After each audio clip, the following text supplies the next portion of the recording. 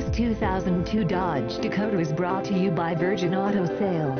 Visit us at virginautosales.com.